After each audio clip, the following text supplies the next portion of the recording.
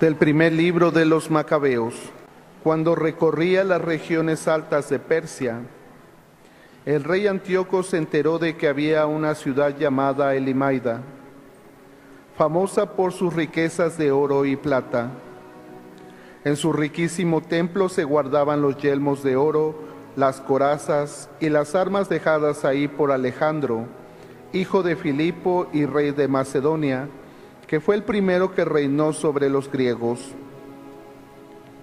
Antíoco se dirigió a Elimaida con intención de apoderarse de la ciudad y de saquearla, pero no lo consiguió, porque al conocer sus propósitos, los habitantes le opusieron resistencia y tuvo que salir huyendo y marcharse de ahí con gran tristeza para volverse a Babilonia.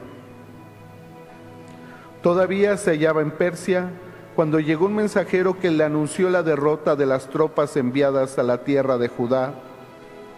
Licias, que había ido al frente de un poderoso ejército, había sido derrotado por los judíos. Estos se habían fortalecido con las armas, las tropas y el botín capturado al enemigo.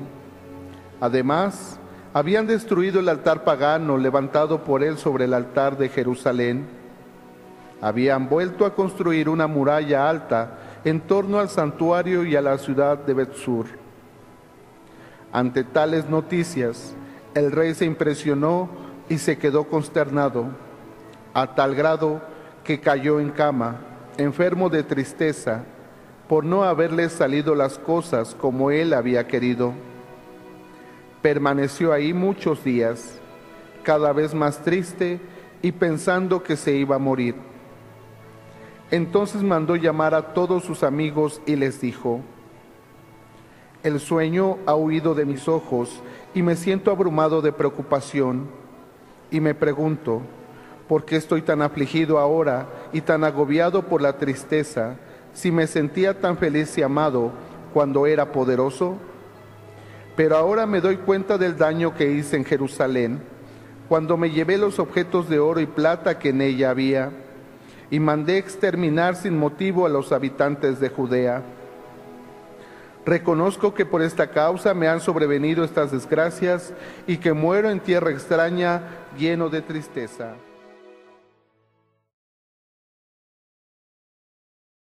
Gozaré, Señor, de tu salvación. Te doy gracias, Señor, de todo corazón, proclamando todas tus maravillas.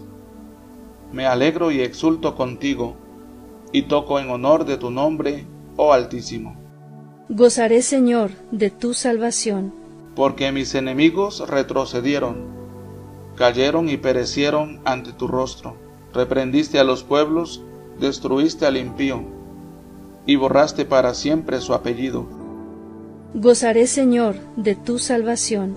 Los pueblos se han hundido en la fosa que hicieron, su pie quedó prendido en la red que escondieron él no olvida jamás al pobre, ni la esperanza del humilde perecerá. Gozaré, Señor, de tu salvación. Evangelio según San Lucas.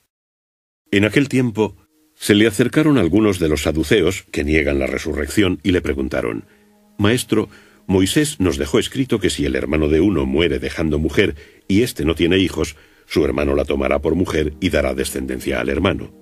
Eran pues siete hermanos, el primero tomó mujer y murió sin hijos, lo mismo el siguiente, también el tercero la tomó por mujer, y del mismo modo los siete murieron sin dejar hijos. Por fin murió también la mujer. Ahora bien, en la resurrección, ¿de cuál de ellos será esposa esa mujer? Porque los siete la tuvieron como esposa.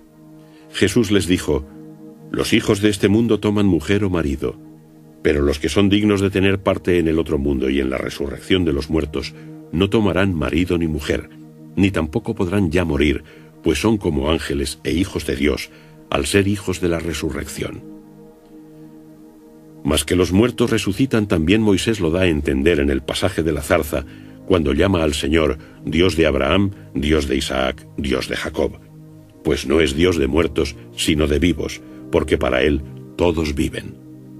Entonces unos escribas le dijeron, Maestro, bien has dicho, y ya no se atrevían a preguntar más.